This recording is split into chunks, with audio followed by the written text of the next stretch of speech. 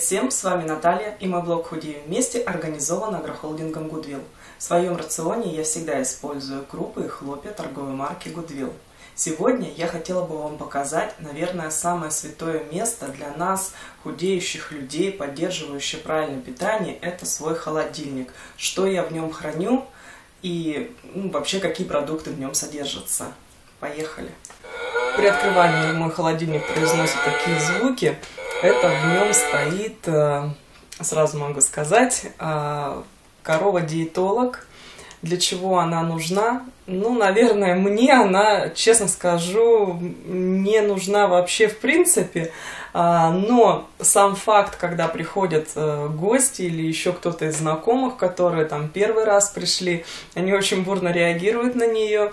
Но вообще как бы вещь очень удобная для начала своего какого-то этапа. Вы уже автоматически при открывании кто-то вешает себе, да, какие-то магниты на холодильник. Ну вот эта вещь тоже советую, очень интересная.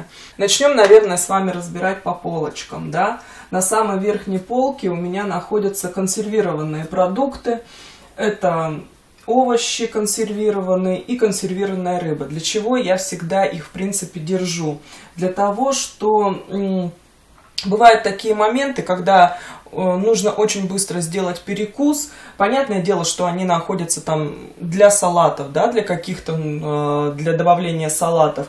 Но у меня они еще служат для того, чтобы сделать быстрый какой-то определенный перекус. Когда тебе нет времени приготовить, ты достаешь какой-нибудь там консервированный горошек или кукурузу, там фасоль и быстро перекусываешь этим. Очень удобно. А, также как бы содержится чеснок. Ну, здесь должен содержаться лук, но на данный момент у меня здесь лимон находится, что тоже очень удобно. А, так, ну и в принципе все на верхней полке. На второй полке у меня сегодня находится чернослив в контейнере. А, чернослив у меня всегда в большом количестве тоже дома присутствует, потому что ну, я его сразу закупаю. И он у меня, потому что практически каждый день э, я использую либо на ужин, либо на завтрак его. Э, сегодня у меня также есть э, в финике. Э, их я брала для того, чтобы сделать конфеты. Конфеты также у меня находятся здесь. Я их держу в холодильнике для того, чтобы они не растаяли. Рецептом конфет я уже с вами делилась. Здесь все натуральное. Они содержат только сухофрукты и орехи. Также есть сыр моцарелла. Это тот сыр, который я ем но на сегодняшний момент, конечно, я уже и балуюсь и обычным сыром, но люди, которые худеют, я как бы не советовала употреблять, потому что он больше содержит жира, чем сыр адыгейский или моцарелла. Затем у меня находятся здесь молочные продукты. Это белый йогурт, молоко, 2,5% жирности. Я его, в принципе, употребляю и утром, и вечером с кашами. В данной тарелке у меня находится капустный салат. Он приготовлен уже, в принципе, готовый продукт к употреблению, чем я буду сегодня питаться. Это мое излюбленное блюдо. Без хурмы я вообще, в принципе, не представляю свою жизнь. Я ее очень люблю, и поэтому, как начинается осень, зимний период, я всегда себе ее покупаю и делаю коктейль молочный. Добавляю хурму, молоко и пью такой коктейль. Очень вкусный. Также у меня всегда в холодильнике находится творог. А, творог я тоже как бы очень... Э, на завтраку я всегда употребляю творог. Ну и вообще, в принципе, и делаю творожные запеканки, сырники. Очень люблю творог. Так, на нижней полке у меня, конечно, э, идут фрукты и овощи. Э, капуста, это я приготовила печень, а, купила для того, чтобы приготовить себе печеночный паштет. В принципе, если интересен будет рецепт, я обязательно поделюсь, очень вкусно. Здесь у меня находится уже готовое блюдо, это запеканка из чечевицы с сыром. И сейчас покажу, как выглядит. Вот так выглядят такие вот баночки. Э, так выглядит домашний кетчуп, который я использую у себя в рецептах, которые я неоднократно вам говорю. Это домашний кетчуп, готовит моя мама из овощей, которые выращены на своем огороде. Поэтому все натуральное, ничего искусственного, никаких добавок здесь нет. Если посмотреть нижний ящик, то здесь находится у меня очень много фруктов, потому что когда я выбрала путь правильного питания, в моем доме в принципе стало много овощей и фруктов. А, здесь находятся на данный момент бананы, а, груша. Вот такую грушу я приобрела. Вес ее 600 грамм. Первый раз, э, честно скажу, такую увидела, еще не пробовала, сказали, очень вкусная, посоветовали. Вот. Также находятся яблоки, помидоры. Ну, это все, в принципе, что я употребляю а, в ежедневном рационе в своем, что я, в принципе, к чему я, в принципе, приучаю своего ребенка. Поэтому фрукты, овощи мы едим в больших количествах. Если смотреть на эту полочку, да, то здесь у меня содержится а, сгущенное молоко а, в баночках, но баночки такие запечатанные баночки, вареные обычные. Почему запечатанные? Потому что я их, мы их не употребляем в повседневной жизни, я использую их только для выпечки, когда что-то ждем гостей или еще что-то, какое-то событие, я их использую для приготовления э, каких-то сладостей, но не для своего использования. Также у меня здесь запечатанный сыр сулугуни, а, тоже как бы находится он у меня всегда. Я даже когда не приготавливаю что-либо, я могу просто отрезать от него кусочек и использовать э, себе в пищу.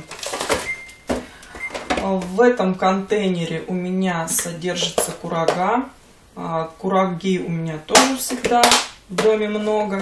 Кедровые орехи. Орехи у меня всегда находятся в домашнем обиходе, что тоже как бы является моим перекусом и очень удобно.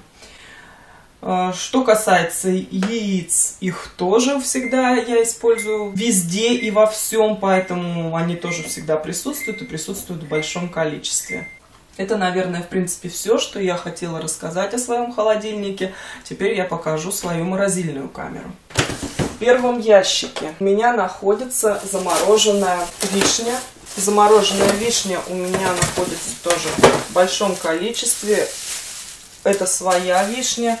Я не делаю из нее никакого варенья. Она в свежем виде захотел, и если что-то сделал, там морс э, ребенку, да, или себе в пирог какой-то там, ну, она без сахара, без всего, поэтому очень удобно в употреблении. Также у меня зафасованы вот по таким мешочкам со своего огорода лук зеленый, что тоже очень удобно. Есть он в наличии всегда, как бы их много таких мешочков. И я использую уже для приготовления каких-либо блюд. Что находится во втором ящике? Во втором ящике ну, здесь у меня хранится мясо а, свинина, говядина есть немножко, потому что все-таки мой ребенок употребляет а, немножко другую пищу. Я, конечно, его пытаюсь перевести на правильное питание, но тем не менее он ребенок, и он хочет есть и другие какие-либо продукты. И из этого я готовлю ему. Также у меня содержатся такие же своего огорода замороженные пакетики помидор, которые я использую для приготовления еды. Большая часть э, у меня идет это замороженные помидоры в этом ящике и замороженный сок помидор, который я тоже использую для приготовления каких-либо блюд.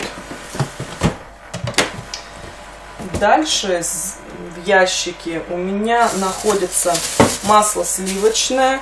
Почему у меня масса сливочная хранится в морозильной камере? Потому что в, обыденном, в обыденной жизни мы не едим с ребенком масло. Я его использую только для приготовления каких-либо какой-либо выпечки. Поэтому оно у меня всегда есть, а, чтобы в нужный момент достать и использовать. Поэтому я не храню его в холодильнике. Здесь же находится у меня курица. А, также есть вот такие вот пакеты, тоже советую. Это морковь, а, я всегда делаю, перетираю на комбайне, сразу там несколько килограмм, там 3-4 килограмма, зафасовываю их по пакетам, и уже а, какой-то определенный кусок, который мне необходим, я его отламываю и использую, что морковь не дрябнет при этом, всегда имеет свежий, хороший вкус. Поэтому очень советую. А, также у меня находится филе рыбы, филе курицы и фарш индейки. Фарш индейки я делаю сама, а, покупаю индейку, перекручиваю, ну как бы сразу большое количество и раскладываю по мешочкам, что тоже очень удобно. Взял какой-то определенный кусочек и уже не нужно каждый раз перекручивать. Что находится у меня в нижнем ящике? В нижнем ящике находятся такие вот тоже пакетики, подготовленные уже со своего огорода перец, который тоже использую для приготовления своих блюд. А также находятся вот такие вот баночки. В баночке находится перемолотая клубника со своего огорода тоже. А, без сахара, безо всего мы достаем, размораживаем эту баночку и как будто мы находимся в летний период. В принципе, вот так выглядит моя морозильная камера. Я вам показала, как выглядит мой холодильник, как выглядит моя морозильная камера с заполненными продуктами, какие продукты я употребляю, какой вывод можно сделать. Что есть в моем холодильнике, что нету в моем холодильнике.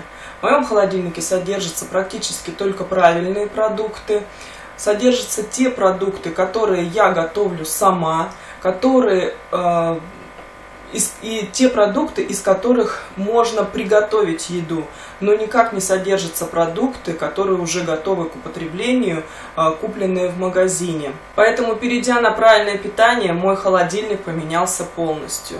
Раньше можно было увидеть там копчености, пельмени или еще что-то, более готовые какие-то виды продуктов, то сейчас мы, в принципе, отказались от них полностью.